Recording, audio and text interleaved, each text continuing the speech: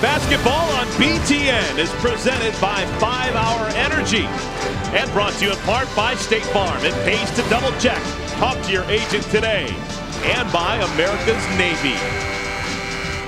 Just settling in here.